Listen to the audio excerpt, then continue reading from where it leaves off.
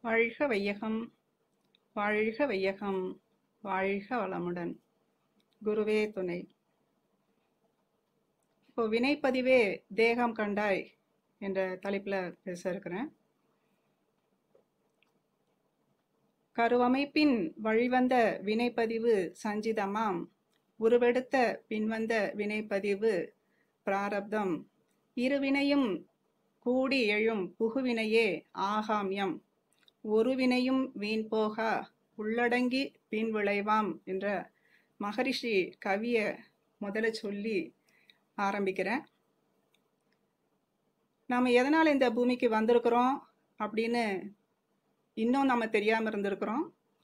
ஆனால் பல்லாயிரக்கணக்கான லட்சக்கணக்கான ஆண்டுகளாக வந்த உயிரினங்களில் இருந்து அனைத்து பதிவுகளையுமே நாம் இப்போ கொண்டு வந்து தான் நாம் பிறந்திருக்கிறோம்.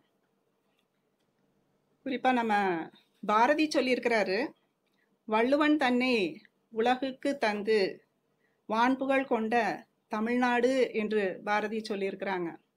ஆனால் நாம் இப்போ என்ன சொல்லலாம் அப்படின்னா வேதாத்திரியை இந்த உலகினுக்கு தந்து விண்புகழ் கொண்ட தமிழ்நாடு என்று இப்போ நாம் சொல்லலாம்.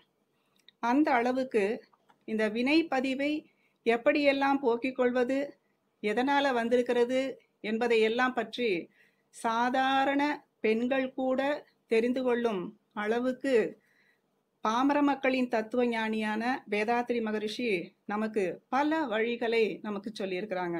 அதைத்தான் வினை கடல் தீர வழிகள் அப்படின்னு சொல்லுவாங்க.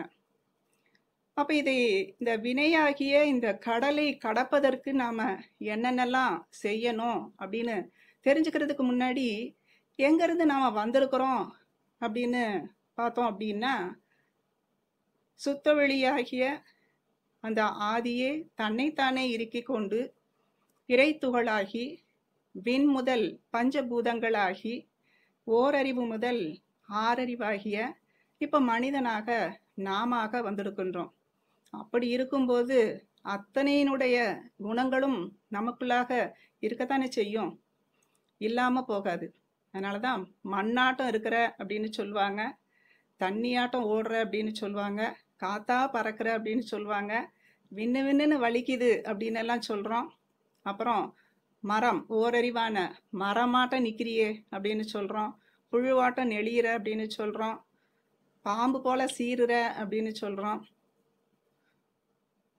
சிங்கம் பாரி உருமுற அப்படின்னு எல்லாம் சொல்கிறோம் அப்போ அத்தனை தன்மைகளும் நம்மக்கிட்ட இருக்குது இந்த ஆறறிவான மனிதன் கிட்ட அப்போ அப்படியெல்லாம் இருக்கிறத நாம் எப்படி வெளியில்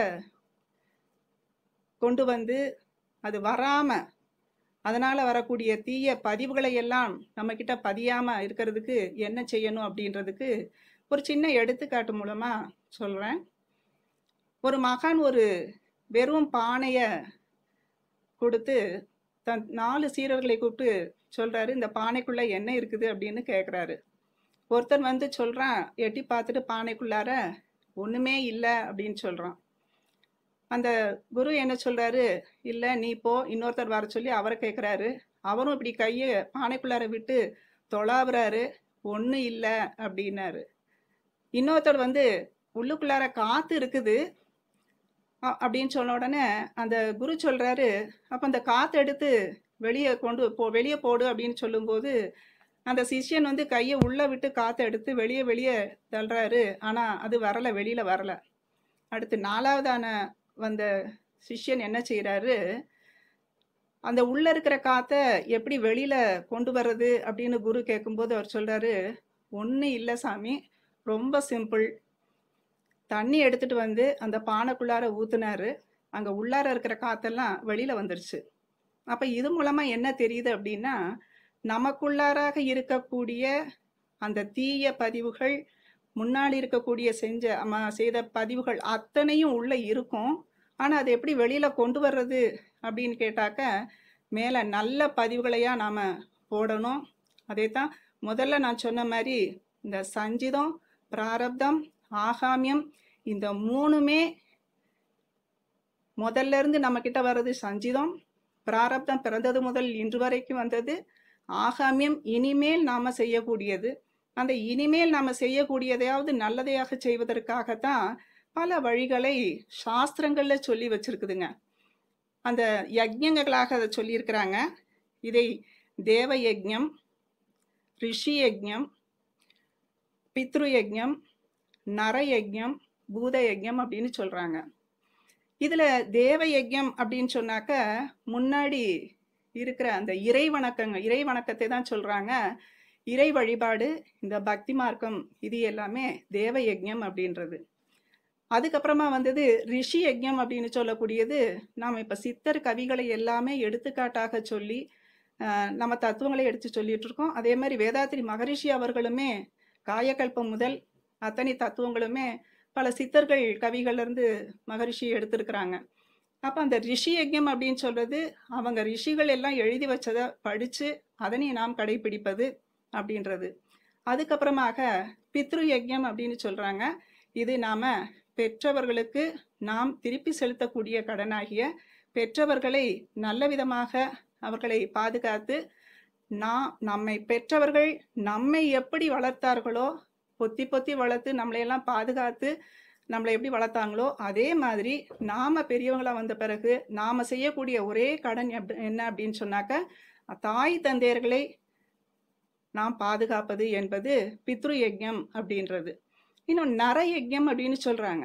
இந்த நர யஜ்யம் என்பது பசித்தவர்களுக்கு ஏழை எளியவர்களுக்கு தேவையான உணவு உடை இவற்றையெல்லாம் நம்மளால முடிந்த அளவு அவர்களுக்கு உதவி செய்வது என்பது நர யஜ்ஞம் என்பது. அடுத்தது பூத யஜ்யம் அப்படின்னு சொல்றாங்க. பூத யஜ்யம் அப்படின்றது பஞ்சபூதங்களுக்கு பாதிப்பு ஏற்படாத அளவுக்கு இந்த பஞ்சபூதங்கள் பின்னால கெடாத அளவுக்கு நம்மை பாதுகாப்பது இந்த நீர் மாசுபாடு காரு காற்று மாசு மாசு என்பதையெல்லாம் இப்ப சின்ன சின்ன அதனோட அதுல இருந்து ஒரு விழிப்புணர்வு வந்திருக்குது. அதையெல்லாம் நாம் கடைபிடிப்பதாக இந்த ஐந்து யஜ்யங்களையும் சொல்லியிருக்கிறாங்க.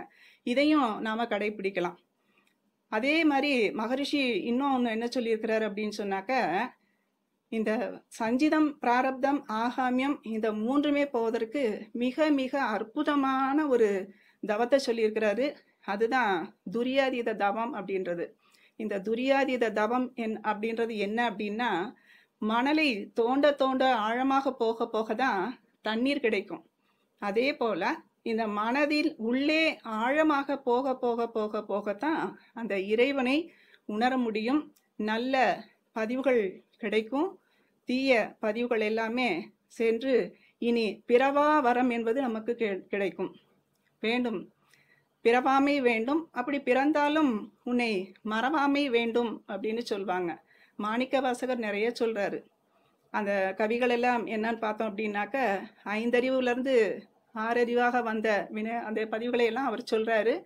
அதை எல்லாத்தையும் விட மூன்று வழிகளின் மூலமாக பிராயச்சித்தம் மேற்பதிவு அடியோடு அழித்தல் அப்படின்ற இந்த மூன்று முறைகள் மூலமாக இந்த கர்ம பழைய கர்மங்களை எல்லாம் நம்ம தீய கர்மங்களை எல்லாம் போக்கிக் கொள்ளலாம் அப்படின்னு சொல்றாங்க. பிராயச்சித்தம் பிராயச்சித்தம் அப்படின்னு சொன்னாக்க நாம தவறா புரிஞ்சுக்கிட்டு பல புண்ணிய ஸ்தலங்களுக்கு போய் நம்ம பிராயச்சித்தம் தேடுவது என்று நினைச்சிட்டு இருக்கிறோம். அதுவே அல்ல. பிராயச்சித்தம் என்றால் நாம் தவற்றை தவறு செய்தவற்றை திருத்தி கொண்டு மேலும் நம்ம அவங்க அவங்க கிட்ட இனிமே நான் தவறு செய்ய மாட்டேன் என்பது மாதிரி. ஒரு சாதாரணமாக ஒருத்தர் மிதிச்சிட்டோம் அப்படின்னு சொன்னாக்க சாரி அப்படின்னு சொல்லிட்டோம் அப்படின்னா பரவாயில்லம்மா அப்படின்னு சொல்லுவாங்க. அவங்கள சாதாரண அவங்க காலை தவறாக நம்ம மிதிச்சிட்டு போயிட்டு நம்ம பாட்டுக்கு போயிட்டோ இருந்தோம் அப்படின்னு சொன்னாக்க இந்த பாரு சாரி கூட சொல்லாமல் ப போகிற பாரு எரும மாடாட்டம் அப்படின்னு சொல்லுவாங்க. அந்த திருப்பி நம்ம சாரி கேட்டுட்டோம் அப்படின்னாக்க அதுதான் ஒரு பிராயச்சித்தம் அப்படின்னு சொல்கிறாங்க மேல் பதிவு அப்படின்னு சொல்லும்போது சில உடல் உபாதைகள் இருக்கிறது. அது வராமல் இருக்கணும் அப்படின்னு சொன்னால் என்ன செய்யணும் அப்படின்னு சொன்னாக்க ஐந்தில் அளவு முறை என்பதை கொண்டு வரணும். மேலும் உடற்பயிற்சிகள் செய்து தகுந்த மருந்து உண்டு. அதை வந்து நாம் போக்கிக் கொள்வது தான் மேல் பதிவு அடியோடு அழித்தல் என்பது டோட்டல் சரணாகதி அப்படின்னு சொல்கிறாங்க டோட்டல் சரண்டர் மூலமாக நாம இந்த அடியோடு அழித்தல் என்பதை மூன்று முறைகளை மகரிஷி அற்புதமாக நமக்கு கொடுத்துருக்குறாங்க. அதை நாம் செஞ்சோம் அப்படின்னாக்க கட்டாயம் நாம் இந்த வினை பதிவாகிய இந்த தேகத்தை நாம் எடுத்திருக்கணும் இந்த தேகத்துக்கு மீண்டும் பதிவுகள் சேராமல் இருக்கிறதுக்கு நல்ல விதமாக மகரிஷி கொடுத்திருக்கின்ற இந்த உடற்பயிற்சி அண்டு காயக்கல்பம் இன்னும் ஆழ்நிலை தியானங்களை தியானங்களை ஆழ்ந்து ஆழ்ந்து செய்து அதன் மூலமாக நல்ல விதமான நல்ல செயல்களை செய்து பதிவுகளை கூட்டிக் கொள்ளாமல் பிறவாமை வேண்டும் என்பதை வேதாத்திரி மகரிஷி கருத்துக்களின் மூலமாக இதை நான் சொல்லியிருக்கின்றேன். இதுவரைக்கும் நாம் இந்த தத்துவத்தை நான் பார்த்துருக்குறோம். இதை கேட்ட அனைவருக்கும் நன்றி கூறி பதினாறு பெற்று பெருவாழ் வாழ்க என்று கூறி இந்த சிந்தனையை நிறைவு செய்கிறேன். இறையுணர்வு அறநெறி கல்வி தனம் தானியம் இளமை வலிவு துணிவு நன்மக்கட்பேறு அறிவிலியர்ந்தோர் நட்பு அன்புடைமை அகத்தவம் அழகு புகழ் மனித மதிப்பு உணர்ந்து ஒழுகும் பண்பு உரையிடமை என பேறு பதினாறும் பெற்று போற்றலுக்கும் தூற்றலுக்கும் வாழ்த்துக்களை கூறி மறைவிளக்கும் உயர்வாழ்வை மதித்து மனையடத்தின் இன்பம் காத்து வளம்போங்கி வாழ்வோம் என்று கூறி இந்த சிந்தனையை நிறைவு செய்து கொள்கிறேன். வாழ்க அலமுடன் வாழ்க அலமுடன்